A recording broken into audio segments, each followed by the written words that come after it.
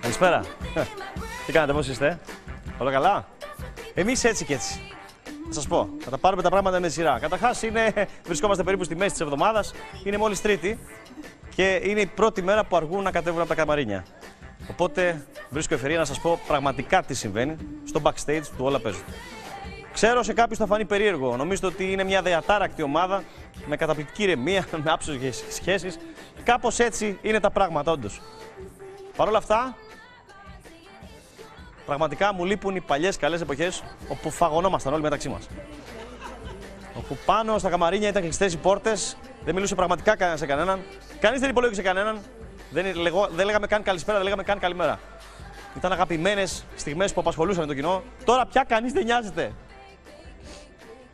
Καταρχάς, βάφονται δύο ώρες. Δηλαδή, αν τις δείτε πώ βάφονται, καλά, οι δύο είναι και μεγαλύτερης ηλικίας, ας πούμε.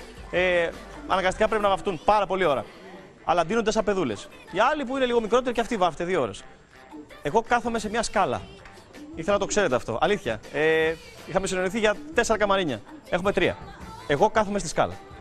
Έχω και μια μικρή καρεκλίτσα, αλλά σήμερα ήρθε η μία κόρη της ε, της, της Μαγκύρα, με σήκωσε. Η άλλη, ε, η οποία είναι κόρη του Μπουζουξή, του πολύ γνωστού Μπουζουξή, ήρθε και με χτύπησε στο καλάμι.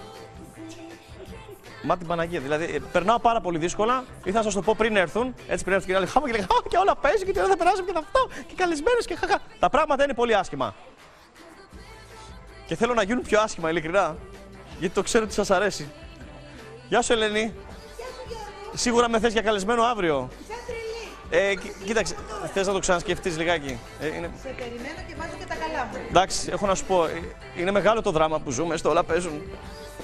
Όχι μεγαλύτερο από του Κωστόπουλου, γιατί κάτσα και είδα και λίγο θέμα χθες. Έκανα ε, μεγάλο δράμα, θα το συζητήσουμε και αυτό. Γενικά ο κόσμος περνάει πολύ άσχημα. Έτσι. Α, Αυτά είχα να σας πω. Πάμε σε ένα μικρό διαφημιστικό διάλειμμα και περισσότερο δράμα σε λίγο. Cause the